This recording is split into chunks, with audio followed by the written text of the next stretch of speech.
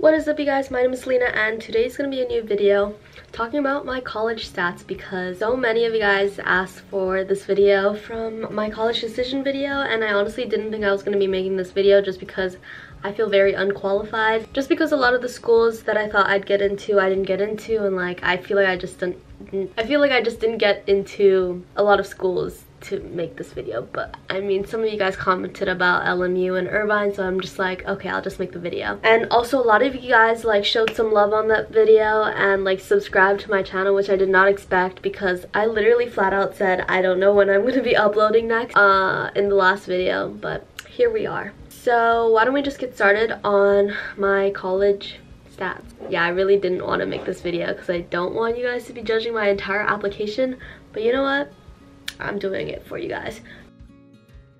Okay, so the GPA that I applied to college with was a 4.16, I believe. I'm pretty sure my UC GPA was a little bit lower though because one of my honors classes was not considered as a UC honors, so I think that makes my UC GPA lower. Yeah, and I got all A's throughout high school, so my unweighted GPA is a 4.0. But some of the colleges actually asked for mid-year transcripts, and these are a lot of the private school colleges, so they saw my first semester senior year grades, and I did get A's for first semester, so my GPA is is now a 4.23. Okay, now for standardized testing. I actually did take the ACT and I got a 26 on it and that I did not study for or try at all. It was in April and but it ended up being that my schools actually saw my ACT score. I did not send them to the schools. I'm pretty sure like my high school sent it or something because I did I literally did not send in that score. I did not want them to see that score the UC saw that ACT score, uh, so that kind of sucked. But I didn't like the ACT, so I took the SAT, and I ended up getting a 1430 on my third try,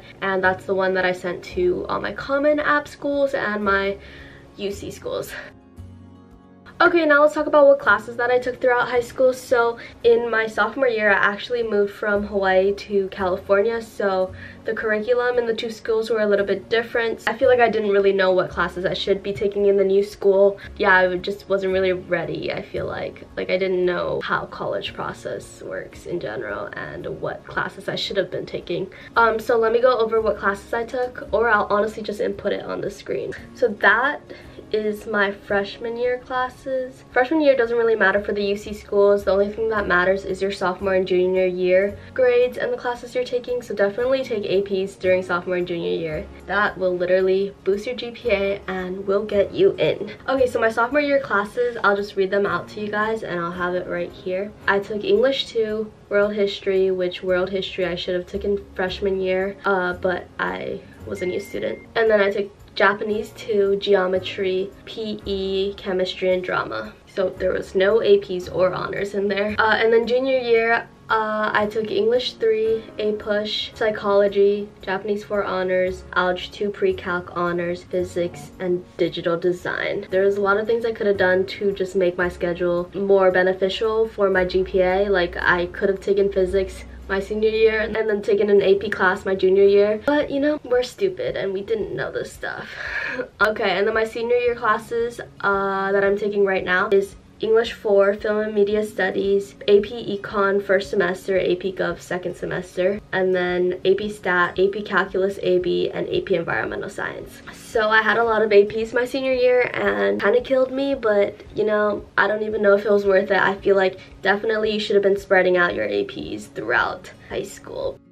Okay, now let's just move on to essays and extracurriculars, which I feel like is a very, very important part of your application. Uh, just making yourself sound really good, honestly. Okay, so I wasn't really a sports person, but I did do track my freshman year, and then I did soccer, but not high school soccer, sophomore and junior year. Um, but that wasn't really what I wanted my application to like, be known for, because obviously I wasn't getting into the school through sports, so I needed to show off um, other things. I threw some volunteering in there and then my main focus was to look like a business person because I was applying to all my schools for business majors or communications. The main extracurricular, I guess, that I did throughout high school was in sophomore year, I started my channel, my YouTube channel, not this channel, another channel, um, and I grew that really, really fast, and I was able to gain like a lot of knowledge about just like video business started selling stuff online. I got to work for like commercials and do stuff like that. So basically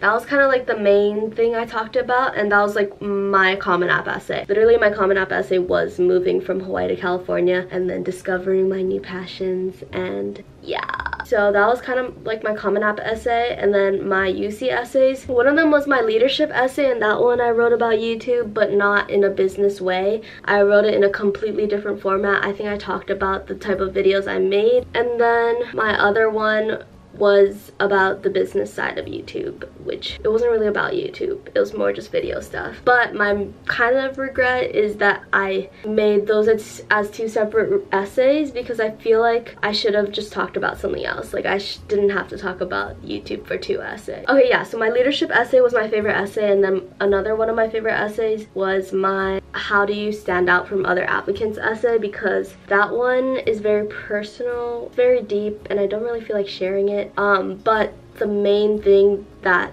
it was about was that I could be empowering at the UC campuses and like be involved in progressive movements and stuff like that. So I think that was a really good essay. And my last essay I just didn't like, so I'm not even gonna talk about it. It wasn't really that good. I don't think you guys would benefit from hearing about it. Yeah, I think that's pretty much it for my application. Here are some tips. This is literally blinking red. I'm kind of scared.